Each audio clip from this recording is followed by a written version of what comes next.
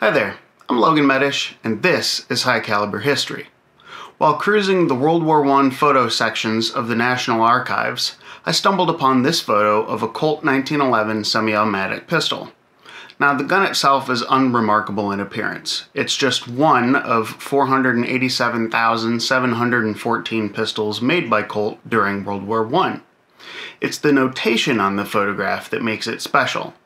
Colt 45 pistol, being prepared for production when Armistice was signed. That little piece of provenance makes this one special pistol.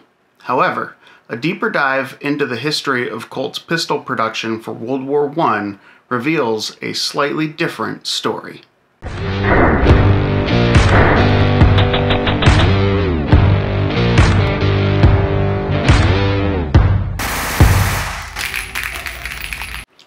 Colt received multiple contracts for pistols throughout the war, including one for an additional 200,000 guns on November 30th, 1918, 19 days after the armistice.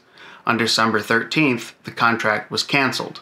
According to the contract termination settlement, Colt continued production of pistols until March 15, 1919, through serial number 629,500.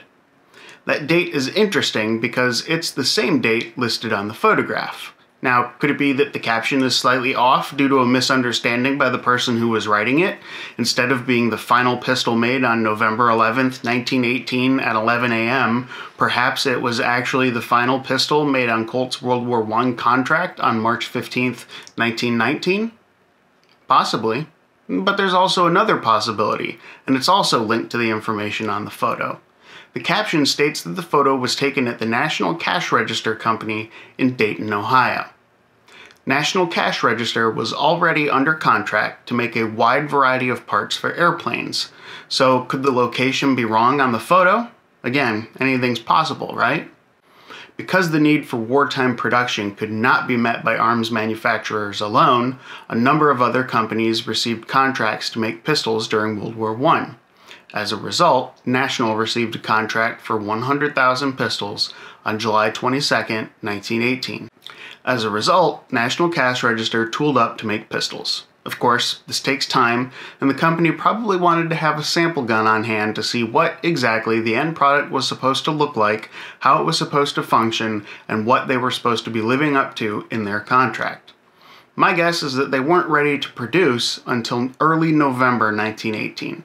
I say this because Colt shipped exactly one gun, serial number 527,971, to the Army Inspector of Ordnance at National on November 9th, 1918.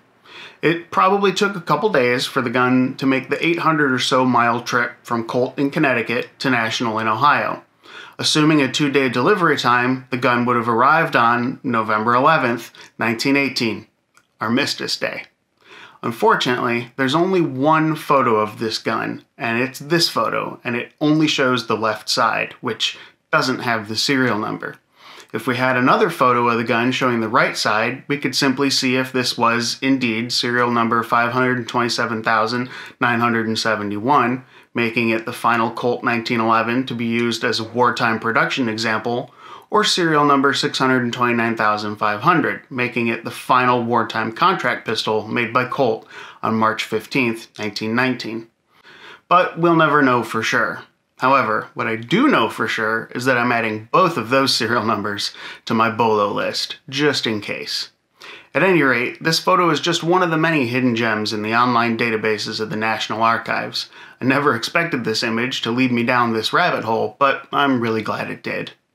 I hope you enjoyed the video. Thanks for watching and have a great day.